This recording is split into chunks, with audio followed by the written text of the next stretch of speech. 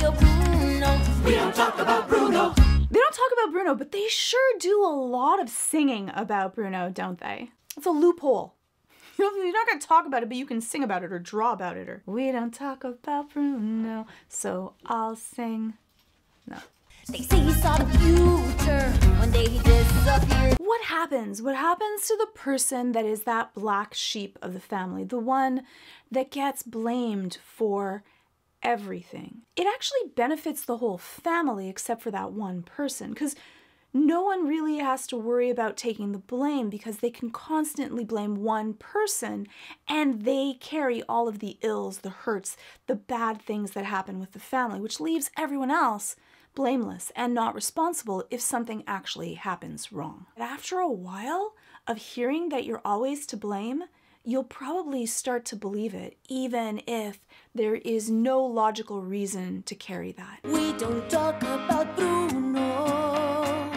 But we don't talk about Bruno, and then there's that but. Remember that statement that anything before the but doesn't really matter? Now we know that there's going to be a whole bunch of gossip that's going to happen about this person that no one's supposed to talk or gossip about. And there wasn't a cloud in the sky. Bruno walks in ends up getting blamed for saying something that then makes Pepa so upset that then it creates a storm that he already forecast. That's what happens when we tell a story. They become so insidious. They get worse and worse as they continue to get told. But the worst part is that Bruno isn't even here to be able to defend himself. When we continue to tell bad stories about people, it maligns them. Like we think differently about them because of that. And it can be really damaging to family dynamics because it starts to create a little bit of an us and a them. We impart intentionality, which we don't know. Her power is not being psychic. With that statement, she's saying he intended to do this and to mean her harm and to ruin her wedding. He told me my fish would die the next day. Dead.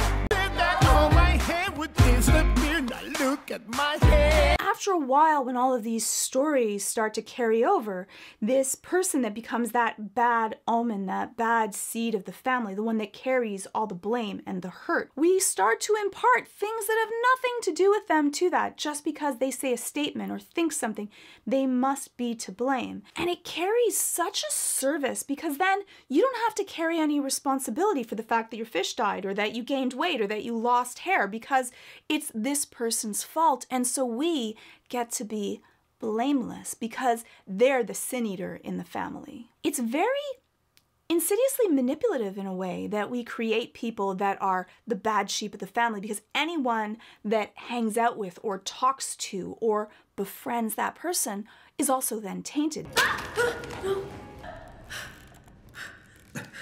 But how do we really know who someone is? The best way is when the chips are down, when all the poop has hit the fan and is flying everywhere. How are they under pressure? How are they when they have something to lose? And here we have Bruno, even though he doesn't want to be found out, he doesn't want people to know where he is.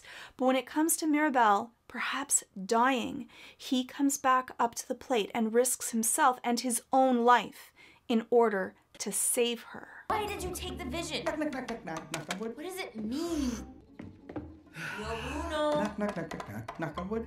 So you can tell that he has a little bit of maybe OCD compulsions or maybe just superstitious behavior. Him knocking things, holding his breath, crossing his fingers. We do that when we're so worried about something bad happening. And for Bruno, he's been blamed for the ills of everything all the time. No matter what he says, people expect something bad to happen. And so you can see that stress has grown onto him and he's developed these rituals to try to control the uncontrollable. But the problem with these behaviors that one, we can't control the uncontrollable. So it ends up just being anxiety as we try. And two, those rituals and behaviors start to control us. A little salt. And you see all of the other little superstitious behaviors that he's doing. He's trying to do everything. He's so worried that bad luck follows him. You can tell that he truly believes that bad things happen because of who he is as a person. All the patching's done by Hernando. Who is Hernando? I'm Hernando and I'm scared of nothing. Actually, me. I used to say my real gift was acting. I love that. He's created this coping mechanism to be able to deal with things that he's scared of dealing with. And I think that that can be a really useful skill if of course, you know that this is a character that you're putting on, but sometimes we can create these archetypes within ourselves to be able to do things that we can't. And for Bruno, he's all alone. He is able then to do things that he couldn't because he creates these alternate personalities that have the skills that he doesn't have. The cool part is that he can integrate them fully into who he is as a person and feel like he's okay. In a way, what he's doing is that old adage of fake it until you make it. what, what do you like? What do you like? You like sports? Game shows. Telenovelas. We're made to be part of a tribe. We're made to have other people around us. But for Bruno, he's not completely alone because companionship doesn't actually have to be other people. It can be one, yourself, it can be plants or stuffies. And for him, he has his rats that are wonderful company and they're there to be able to give him companionship and love and be able to talk to if he happens to need to.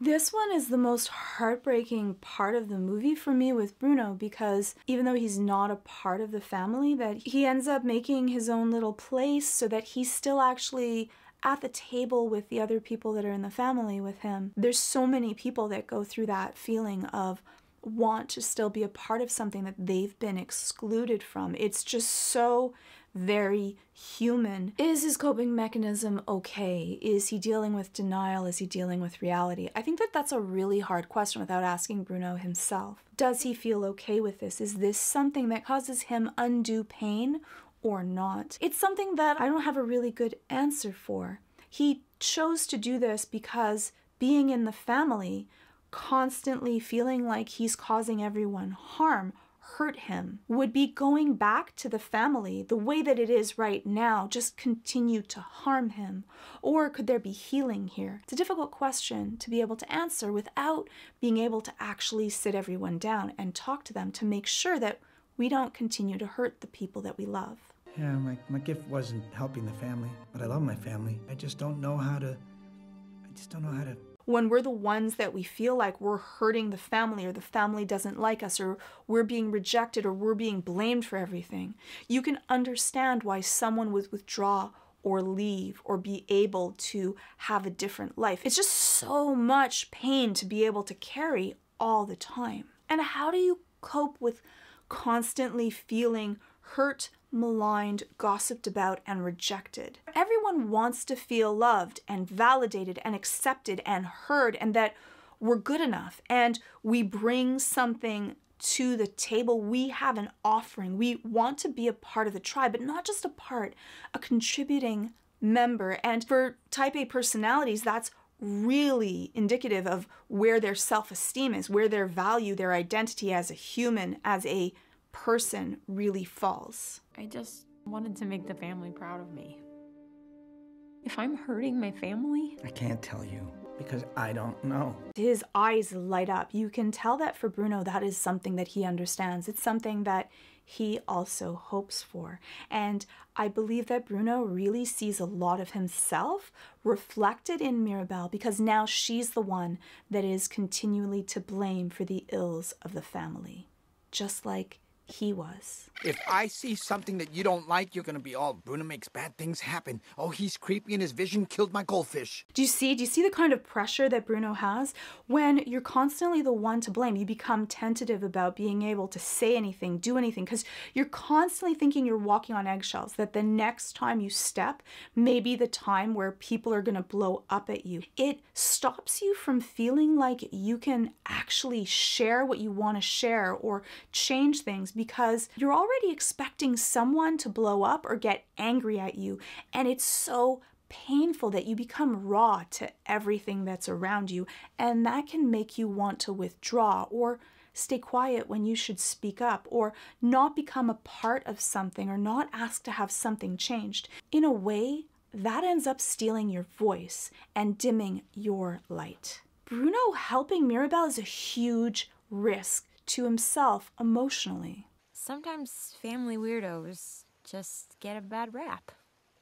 You can do this. The people that stick out, that are different, that don't conform, sometimes they're the ones that carry everything, even though they're not actually the ones that should be to blame. And for Mirabel, she really understands this because when Bruno left, she was the one that took on this part in the family because she was the one that didn't have a gift. I can do this. I can do this. I can do this. I can do this. I love one that he gets a stuffy. I love stuffies. I think that whatever you have to be able to soothe yourself, totally own that. But I also love Bruno outwardly saying that positive self talk to be able to let himself know that this is going to be okay. He can do this, even at so much risk. And you see him taking that deep breath to try to slow down that shallow breathing to be able to oxygenate, which lowers your level of stress. I don't know if you heard, I ruined her proposal. Plus, P.S. Kitty's just a. And do you hear how tentative he is in giving this most brilliant, beautiful, powerful advice? The fate of the family, it, it's not up to her. It's up to you. You're exactly what this family needs. She has this power. She can do this to help her believe in herself, but he's tentative and his voice is soft. And when he raises his voice, Coming out of Mirabel! Oh, sorry. he's so scared about being too much, about being seen in a certain light that he has gotten rid of who he is as a person. He's soft spoken, he's tentative, and you can already tell that that's not really who Bruno is. After I saved the miracle, I'm bringing you home. Knock, knock, knock, knock, knock, knock on wood. I love that. I love her saying that that she's going to bring him back to the family. A thing that he wants so badly that he goes back through his ritual of having to knock on everything because he doesn't want that possibility to be ruined because it would mean so much to him to be able to be rejoined with the family that he loves so much. Whoa, whoa! She didn't do this! I gave her a vision! I love it. Bruno's such a hero. Here he comes. He's worried again that Mirabel's going to be blamed. And so right away, he ends up swooping in and being able to try to take all of the shrapnel from this, saying it was him and it was no one else. This really shows how much he wants to protect someone else from having to go through what he went through, that he'll carry all of it to be able to save her. It was me! I was like, go! She only wanted to help. I don't care what you think of me. And did you hear that pain, that hurt, that anger, that that gruffness that came into his voice that it doesn't matter what you think about me, but the only thing is that there was so much hurt there. If he really didn't care, if it really didn't matter, there wouldn't have been as much emotion that would have come into those words for the pain that he's carried for all of these years. But if you're too stubborn to. to, to... Brunito. I know everyone's really upset that Abuela didn't give him a proper, really dignified apology, but you're right, he, she didn't. But that beautiful hug that she gave and the kiss and that embrace and her holding his hand and bringing him with her and pulling him onto the horse not all families are verbal and and it's not fair and it's not right and we should all have all of those tools but i think that for abuela that was a really big deal. I think that there's a lot of people in families that are not verbal communicators and don't say sorry that they would love to have that really meaningful hug and that embrace and to be able to take be taken by the hand and brought back and said especially because she is the matriarch so her bringing him back everyone else is going to accept it because she did. And i think that it does go especially for Bruno to a lot of healing and when i ask people about apologies and how they feel about it maybe we don't feel like it was enough but you could tell that for Bruno it was monumental and he felt healed from it. And so sometimes we need to put aside how it might not have been good enough for what we would have expected. It definitely went a long way, perhaps not all the way, but a long way for healing for Bruno. The miracle is not so magic that you've got. The miracle is you, not some gift, just you. and so I love when, um, because Abuela brings him back, right? And because she's the matriarch, everyone else reacts, and that look of that excitement of like, oh my God, he's here. We have him, our brother's home. Um, and because she did it, everyone else right away knew that they could rush to accept. Damn it. And I love the embrace of him being brought back to the family. And so, even though it wasn't Mirabel, where you're like, maybe it should have been, I think that it really meant a lot that it was actually Abuela that first introduced him back and saying that it isn't about your gift, it's about who you are. Sorry about your wedding, didn't mean to be upsetting. Got a lot of apologies I got to say. Hey, uh, we're just happy that you're here, okay? Coming to the light. And do you hear how much guilt he still carries about something that he didn't intentionally try to hurt anyone, and yet he's the one that's still apologizing. So he still carries that it's his fault. Really, they've been talking bad about him and their hurt and their angst for so long. I think that there's a lot of apologies that need to go around, and most of them are not actually from Bruno that need to be said. And I love that his sister says, you know what? It doesn't matter. We're just so happy that you're here. You know, just come into the light. Let us see you. And I think that that's wonderful when someone comes in and says, I'm so sorry in this, and they're like, you know what? I don't care. I just want you back. And so I think that she did a really nice job of letting him know that, you know what? It, whatever is the past is the past and we'll work it out. We carry this guilt because we feel like we've done something that's damaged someone else, and someone else is like, they're done it. They don't care. It's over we often don't talk about it because we're so worried about what the repercussions can be. And for many people, that those words of that, it's okay, I've moved on, I just want us to be able to work on us can do a lot of healing. I love how all these characters have their own unique creativity and style. You can find yours as well with Find Your Style 5 Exercises to Unlock Your Creative Identity on today's sponsor, Skillshare. This is a really fun and inspiring class. You follow Andy J. Pizza, who lays out five hands on exercises to help you unlock your artistic identity. Working in the medium of your choice, you'll explore who you are and what you have to say, and then put it all together in your own personal style guide. And I hope that you have fun doing it because I really did.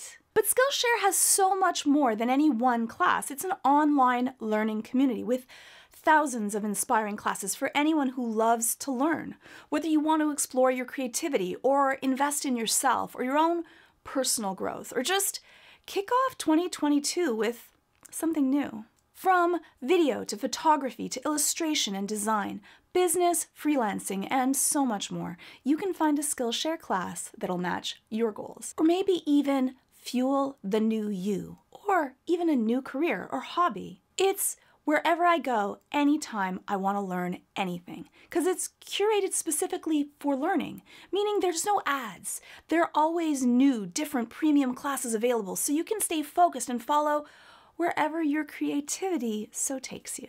Because you're watching this video, the first thousand of you that click the link in the description will get one month trial of Skillshare for free. So just click on that button in the screen and start exploring your creativity today. And thank you to Skillshare for sponsoring this video. Yes, we definitely talked about Bruno. Did not sing. I did threaten it, but I didn't do it. If you like this video and more Encanto Arcane, or you let me know what video I should react to next.